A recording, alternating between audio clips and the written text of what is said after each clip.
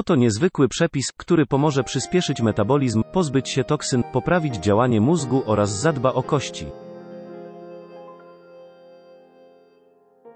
Eksperci twierdzą też, że ten potężny środek potrafi polepszyć wzrok i pamięć. Wypróbowało go już wiele osób na całym świecie i są zachwycone efektami. Najlepsze jest jednak to, że potrzebujesz tylko trzy składników chrzanu, cytryny i miodu.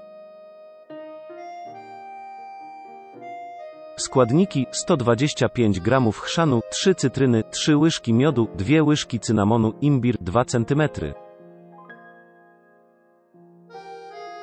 Sposób przygotowania chrzan i imbir wrzuć do blendera i zmiksuj, aż otrzymasz jednolitą masę.